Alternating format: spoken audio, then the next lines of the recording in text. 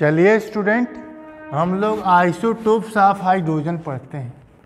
Isotopes of hydrogen isotopes of hydrogen isotopes of hydrogen पढ़ते हैं। तो सबसे पहली बात यह है कि आइसोटोप्स क्या होते हैं? तो आइसोटोप्स में बस दो चीज़ें याद करना है कि जेड सेम जेड क्या होता है? एटॉमिक नंबर क्या होता है? Atomic number atomic number same Z क्या हो? जेड सेम हो. बट ये क्या हो? ये क्या होता है? मास नंबर मास नंबर ये क्या हो? डिफरेंट डिफरेंट हो. बस सिंपल सी बात है कि जिसमें जेड सेम हो ए डिफरेंस हो, वो क्या होगा? वे सारे क्या होंगे? आइसोटोप्स होंगे। एक ही एलिमेंट के सारे नेचर में एग्जिस्ट करेंगे। एक ही एलिमेंट के, सेम एलिमेंट के क्या होंगे? वैरायटी होंगी। जैसे हाइड्रोजन की बात करें तो हाइड्रोजन में तीन, थ्री आइसोटोप्स होते हैं। पहला है प्रोटियम प्रोटियम। दूसरा है, पहला है प्रोटियम। पहला जो एलिमेंट है, पहला जो आइसोटोप है, प्रोटियम है। दूसरा है ड्यूटेरियम। ड्यूटेरियम। और तीसरा है ट्राइटियम। ट्राइटियम। थ्री आइसोटोप्स हैं हाइड्रोजन के। प्रोटियम ड्यूटेरियम और ट्राइटियम तो मैं अगर मैं बात करूँ कि इसमें नंबर ऑफ़ प्रोटॉन कितना है? नंबर ऑफ़ अगर मैं इनको रिप्रेजेंटेशन की बात करूँ, इनके रिप्रेजेंटेशन की बात करूँ तो रिप्रेजेंटेशन इनका क्या होगा? रिप्रेजेंटेशन इनका क्या होगा? जैसे मैं पी लिखूं वन लिखूं वन लिखूं, या लिखूं हाइड्रोजन को एच एच लिखूं। समझ पा रहे हैं। या मैं लिखूं डी वन टू या लिखूं हाइड्रोजन वन टू।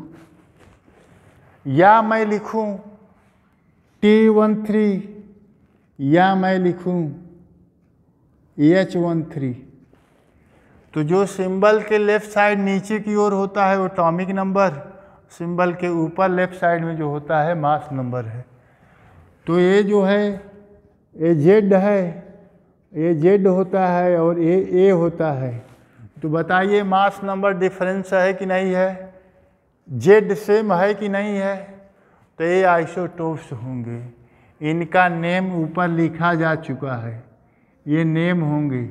ये कितने नंबर में होते हैं? तीन नंबर में होते हैं।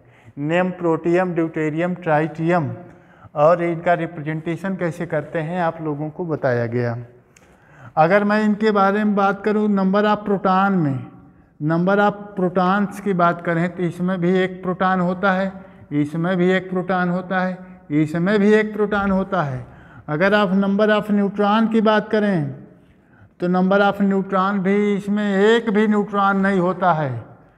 प्रोटियम दुनिया का ऐसा एलिमेंट है, पूरे यूनिवर्स का, जिसमें एक भी इलेक्ट्रॉन एक भी न्यूट्रॉन नहीं होता है, जबकि इसमें एक न्यूट्रॉन और इसमें दो न्यूट्रॉन होता है। तो आप लोगों को समझ में आ गया होगा तो मास नंबर क्या हो जाएगा? मास नंबर क्या होता है? Mass number A equal to होता है Z plus, sorry P number of proton P plus N P मतलब या तो जेड कर दें या तो पी नंबर ऑफ़ प्रोटॉन को ही जेड कहते हैं।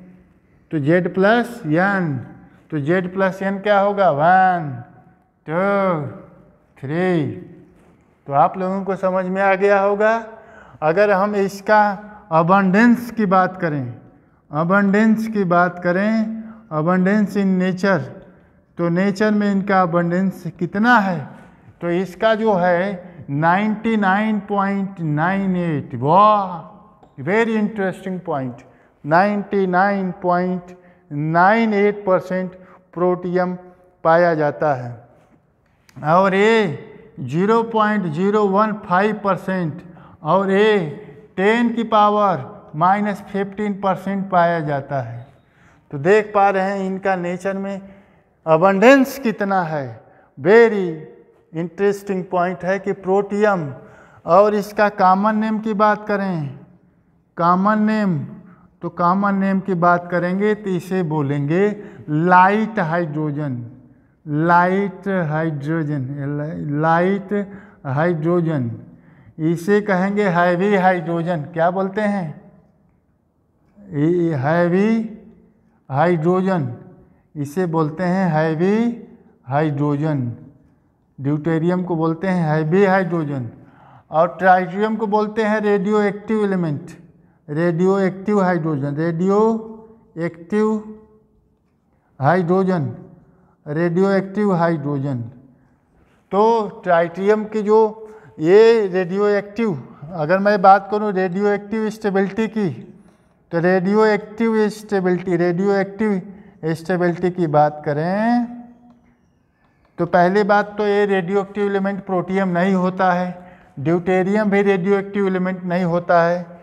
जबकि ट्राइटियम रेडियो एक्टिव एलिमेंट होता है और इसकी जो हाफ़ लाइफ टाइम होती है, इसकी लाइफ टाइम होती है, ये इसकी होती है 12 मिनट।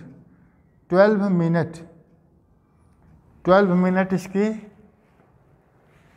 रेडियो एक्टिव स्टेबिलिटी होती है। तो ये है इंपॉर्टेंट पॉइंट। स्टूडेंट्स, आप लोगों को समझ में आ गया होगा, आइसोटोप्स, हाइड्रोजन के थ्री होते हैं प्रोटियम ड्यूटेरियम और ट्राइटियम वेरी इंटरेस्टिंग पॉइंट है कि इसे लाइट हाइड्रोजन कहते हैं सबसे ज़्यादा नेचर में 99.98 परसेंट प्रोटियम पाया जाता है।